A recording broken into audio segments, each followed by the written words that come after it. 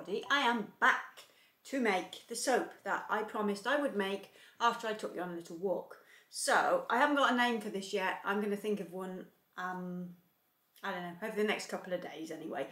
So the fragrances I've chosen are very woody and a bit nutty, like my good self, and fruity.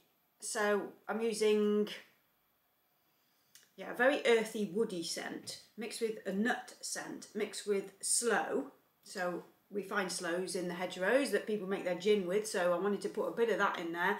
So basically all those elements on that walk where we've got that sort of those berries, a very autumnal sort of blend. So I've made the blend. I'm not going to tell you what it is because it's a secret because it's going to be a bespoke blend for my company. So that's that. Sorry about that, but that's the way it goes sometimes. I just make things for just my company, not yours. So colour wise, I'm going to use white base as usual and I'm going to be using this golden brown by the Soapery, which is a nice bronzy colour. Then I'm going to be using Mica Moma, what is this one? Olive Gold Green. And then Mica Moma Black Grape Mica. So those three colours, I've already mixed them in some oils here, so I've just got them ready to go. I'm just waiting for the lye to cool down and for the oils to cool down and then we can start making soap. So this one probably, I don't know whether to do a drop swirl or whether to do my usual chopstick swirl. But we'll see how this goes. I don't know whether to do a peak top or my usual flipped over top. We shall see as we go along. I don't think I'm going to use any toppings on this, but I might change my mind as I look on my shelf behind me, see what we've got. But I don't think I'm going to use anything.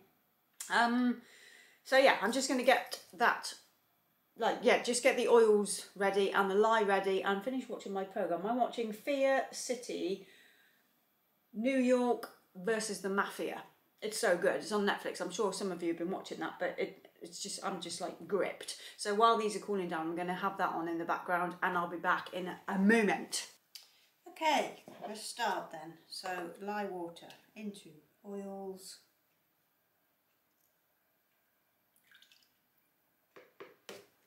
And then just stick blend that.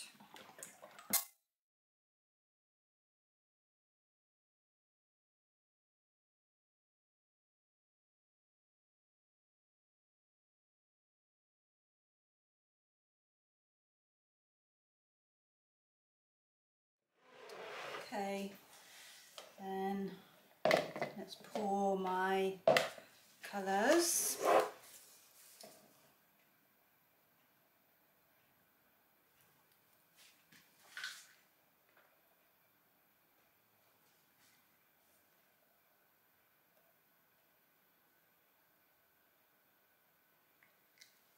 There we go.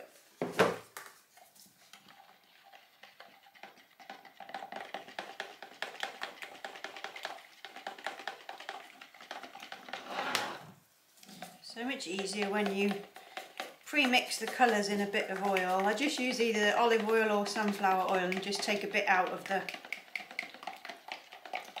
soaping oils just to get it dispersed. It's just a lot quicker and you don't get any lumps or powdery areas.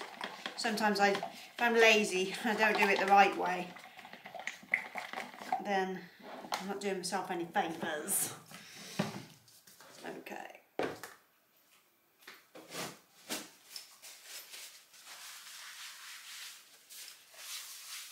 Okay, I need some white in the base then.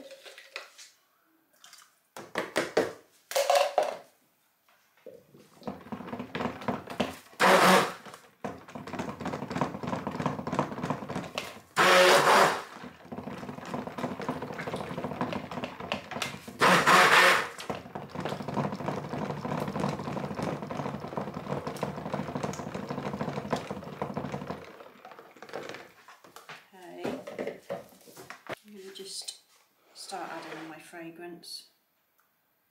Majority in there, a little bit in these. I'll do. Okay.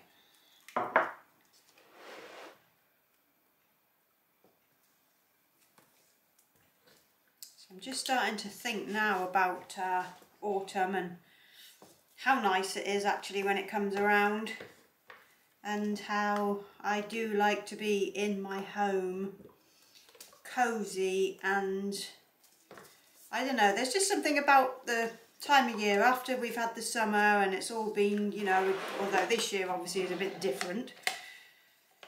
But I mean generally summertime everything's happening in summertime. You're busy you're doing all these things you're going on holiday you're, you know well we're not at the moment but generally we do and everything's always so busy out there I like the kind of slower pace of autumn and just sort of thinking about food more and eating pies and crumbles and things like that. So I do really look forward to autumn. There's just something about a nice uh, autumnal rainy day, you know. so I think I will try a drop swirl and then I'll see if I change my mind at the end. so here is our mould. Just get the white in first.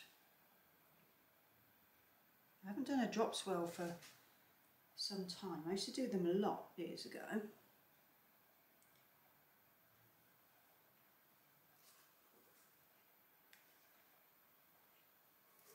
Okay, so let's go in with the brown first.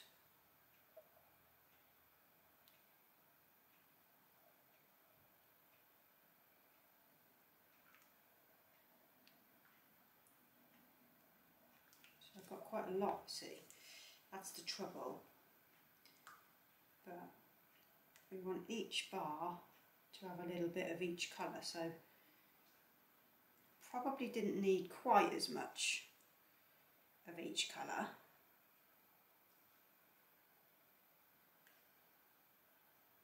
It's always interesting drop swirls. I always think, oh, it'd be boring, and then they, you know, just depends. They generally never are boring Let's put a bit of purple.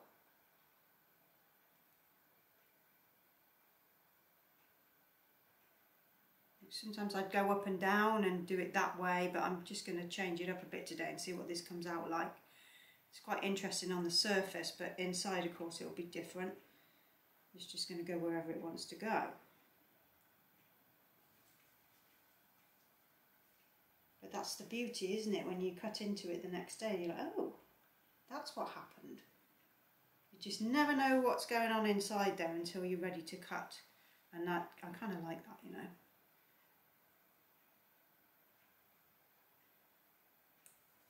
Okay. Just get a bit of the olive green.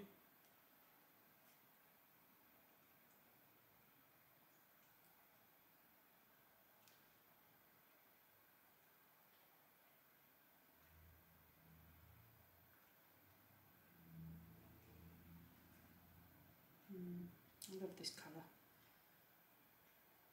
It goes a bit darker, but I've used double the amount this time. Normally I'd use like a teaspoon per half jug, but I've used two teaspoons today, so I wanted to slightly deeper colour of each. This looks interesting, doesn't it, on the top? I've never sort of had a soap look like that before. Now I'm not sure what to do. just go with it I guess like that Uh, and then more purple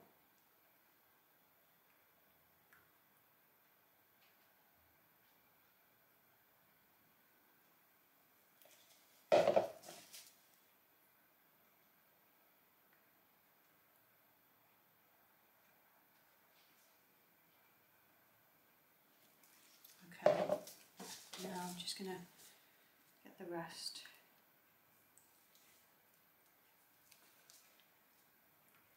With the spatula, it does smell very good. It smells very woody and very fruity at the same time. It's, I've used more wood, more of the wood scent than the fruit because I wanted an earthy sort of, um, quite a rustic sort of a scent, you know, that makes sense. I didn't want it to be too fruity and too sort of berry-like.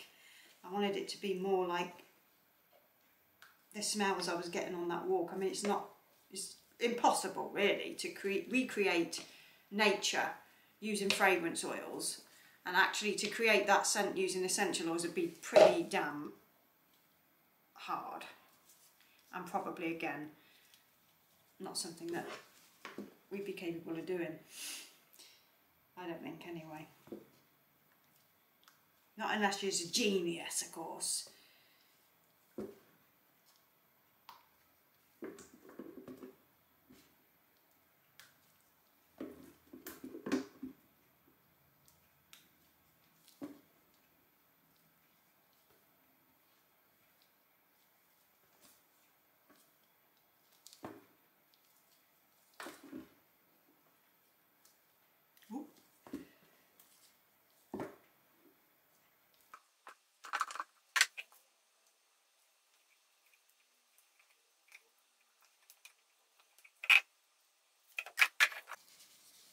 Okay, just going to do a figure of eight.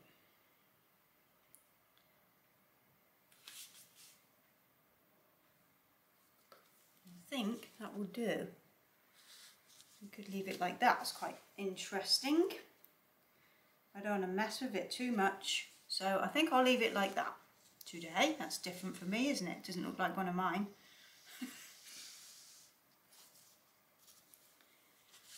yeah. That'll do. Okay, I'm, I'm liking that. I am liking that. That looks really pretty. Really pretty. So I'm going to put that to the side and we'll be back for the cut shortly. Ta-ta. Okay, the cut. The cut, the cut, the cut. Let's have a look and see what we got. I made two loads of this. I made another one after I'd filmed this. But the other one the other one went a little bit differently because I soaked a little bit warmer. I'll show you the top of the second one. It's not as nice as the first one at all. It's okay. But the first one is much more snazzy.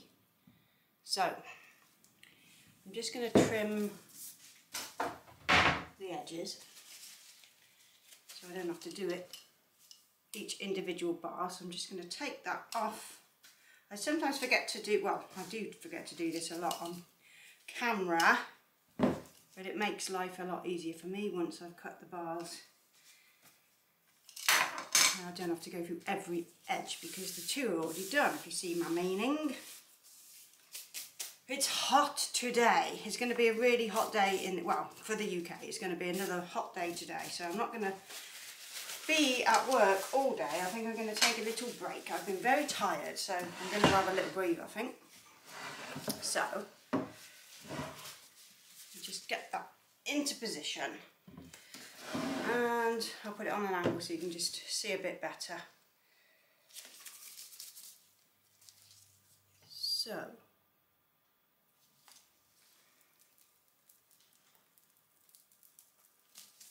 see what that drop swirl came out like.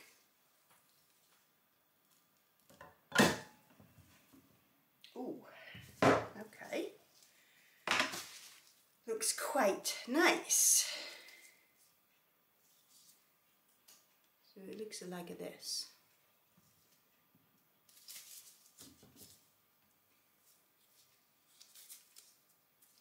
Yeah, I like that that's come out pretty nice.